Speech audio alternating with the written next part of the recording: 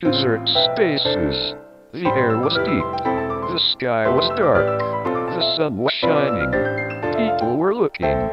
Sand was blowing. Eyes were stirring.